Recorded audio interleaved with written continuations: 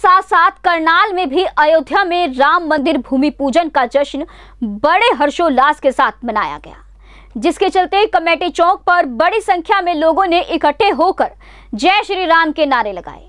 भगवान वाल्मीकि चौक पर विश्व हिंदू परिषद से जुड़े कार्यकर्ताओं ने एवं अन्य सामाजिक लोगों ने पहुंचकर श्री राम मंदिर की भूमि पूजन के प्रति आस्था प्रकट की। इस अवसर पर एक ही नारा, एक ही काम, जय श्री राम, जय श्री राम के नारों से चौक गूंज उठा। इस मौके पर भगवान वाल्मीकि चौक के इर्द गिर्द घी के दिए जलाए गए और दिवाली मनाई गई। वहीं पूरे शहर में आतिशबाजी की गई एवं श्री राम मंदिर की नींव की खुशियाँ साझा की गई। इस मौके पर बड़ी संख्या में लोग मौजूद रहे। पूरी करण नगरी धार्मिक रंग में रंगी दिखाई दी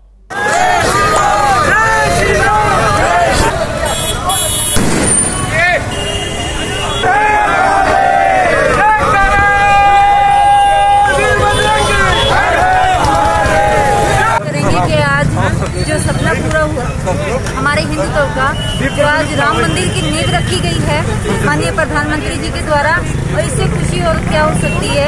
और इसी खुशी में हमारे वाल्मीकि चौक करनाल में आज दीप जला करके इस खुशी को ज़ाहिर किया जा रहा है। और हमें बहुत खुशी है कि आज के दिन हमें साल में दिवाली बोलते थे कि एक बार आती है लेकिन इस साल दिवाली दो बार आई है। इसीलिए जय श्री राम जय श्री राम। बलिदान के बाद आज ऐतिहासिक दिन आया है।